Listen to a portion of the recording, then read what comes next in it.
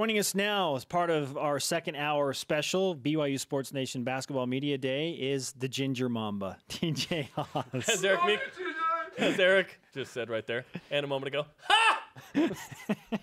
Do you like that nickname? We gave that to you a couple months ago, and I think other people have called you that, right? Yeah, I like it. I think it's pretty good. I think it goes back. I, I, I want to give a shout out to your your uncle Pat, man. I think he's he's one of the originators of the Ginger Mamba, right? Pat is a talker. Pat is a big talker. yes. You said something funny offset that I want to bring back. You said Eric's my best friend until he gets in front of a camera in fr- or in front of a microphone. Seriously, people probably think he doesn't like me very much. When did you? When did you fir- all three of you first meet? How old were you? Uh, Eric came in the picture in fifth grade for me, but I had known Nick since first grade. So all three of us was in my fifth grade year. Did you always play on the same teams? And you were a year younger, right? hmm I played. I played with Nick since first grade. Eric came on the team for a few years. Um, so all three of us played for probably two or three years together. Okay, before we get into the whole Lone Peak 3 dynamic, as we've done with Eric and Nick, um, we need to congratulate you, first of all, for recently getting married. Life as a newlywed and as a full time student, Last week. Yes, Right. last week. and now as a basketball player. What has the last week or so been like for you in, in your life? It's been a little bit stressful um, coming up to the marriage, but after the marriage, I feel like everything has calmed down a lot and life is a lot better now. What's uh What's the preseason been like as you try and physically get back into shape? Uh, it's been it's been really fun. Uh, coming off a mission, I was really excited to get back into basketball, um, being with my teammates again, my friends. Um, it's definitely been challenging, but it's been a blast getting back into shape and playing ball again. What's been the biggest challenge for you? Uh, probably running. Um, you get up and down the court a couple times right when you get back, and you can barely breathe. So that was probably the biggest challenge. Yeah, we still have that problem. So you're, you're good. at it. We know all about that. Five plus years in the making. So, what's it like for you to be here now, so close to starting this journey with your best friends and your former high school teammates, and then the new dynamic of uh, players that you haven't played with on this BYU squad? I'm I'm so excited to play with these guys. Uh, I, I committed to play here when I was a sophomore, so it's it's been five years and coming, and so uh, I'm really excited to play with these guys. I feel like there's a lot of talent, and probably the thing I'm most excited for is is that we are all really close. Um, we had a, a good summer together, and I feel like we um, developed great relationships, and we're all we're all close friends, which I think will relate onto the basketball court as well. Off the court, um, you you are you you are. I, I don't know that I'd say you're quiet, but you're very respectful and kind. And, then on the court, you are an assassin, man. Like, how, how do you turn it on on the court? Uh, I think once you step on the court, there's something that just changes, um, and I, I I love having that being on the court and, and being you know a little bit more aggressive, and I, I think that's that's fun and it can balance out as well. So that's where you get that part out in your life on the basketball court. Yeah. Yes, I know. That's exactly. the angry TJ. For me, it's in here at Spencer. That's how I do it. Yeah. He's not. I go home. My marriage is great. like I come here like, "Ah!" the aggression. yes, yes. I don't know if you saw in the police blotter recently, TJ, but uh, there were two fans that were arguing over who should start at quarterback during the BYU UCLA game. It may or may not have been Jarom Jordan myself. I'm not gonna say. There's there's still some court hearings uh, that need to play out. So. oh my goodness.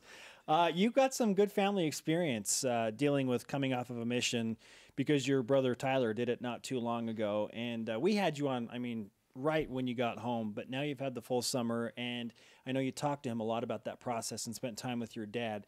Um, what did you learn from uh, from those two, and how did he implement that in your off-season training?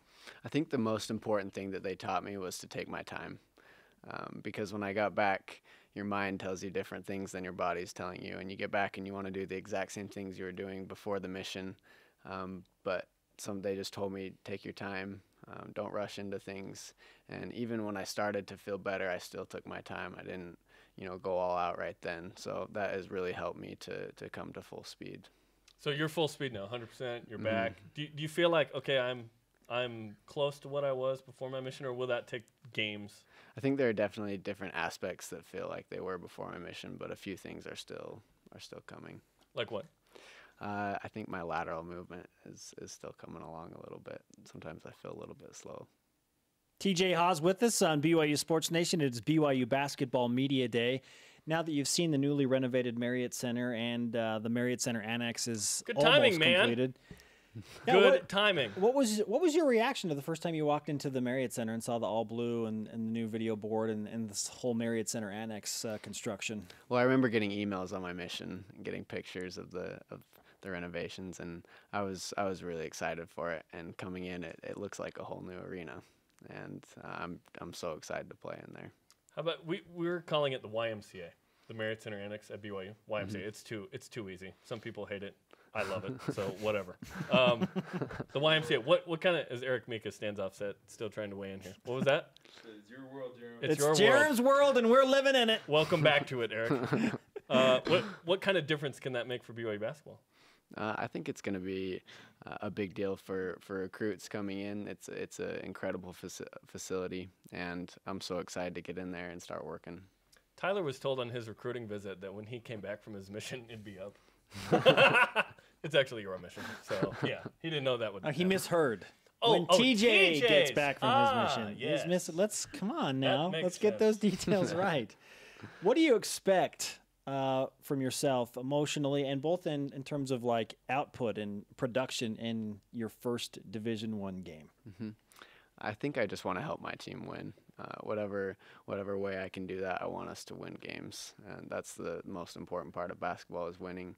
And I feel like we have the team this year to do that. And so whatever I can do to help our team win, I, I want to do that. Are you a better dunker than Tyler? Uh, we'll see. I hope so. How about then? hope How about then? so? How about then, Nick? Are you a better dunker than Nick? Uh, yes. He does have more college dunks, but I have more high school dunks. So Okay, let's run through the gambit of uh, you know questions about different guys on the team. Okay, who's the strongest guy on the team? um, I'd probably say Jamal. Jamal Aytes. Okay. Jamal, he's the strongest. Two votes for Jamal Aytes and uh, one for Elijah. Elijah, The Bryant. weekend. Okay. That has nothing to do with him running into Nick Emery. Best shooter on the team. Best shooter. Oh boy, we we do have a lot of great shooters on the team this year, and I think it's good that it it's hard to answer that question. Um, but um, I don't know. Um, I would say I would say Nick. Nick, he's a, he's a pretty dang good shooter. Okay. Nick is pumped. He's still in here. Yeah, he's hanging out. Neither of these guys have class this hour, apparently. Uh, also, uh, who has the best handle? Um, I'd probably say Elijah. Best dunker. That's a tough one. Uh, it's up there with Eric and Yoli. Um, Eric probably dunks more than Yoli, but Yoli can do some crazy dunks. I'm excited. I'm excited for those guys. Uh, who's most likely to get lost on a road trip I'm with Eric, Zach Frampton. from experience? We've seen it. Zach's not going to be your friend Did he- after this. Never. Eric says never was. Oh my goodness. oh my goodness, great stuff, TJ. Uh, it's it's great to have you back. This is the excitement is palpable for sure. I can't imagine how it feels for you and your teammates, but best of luck to you moving forward in official practices and games. Thank you. I appreciate it.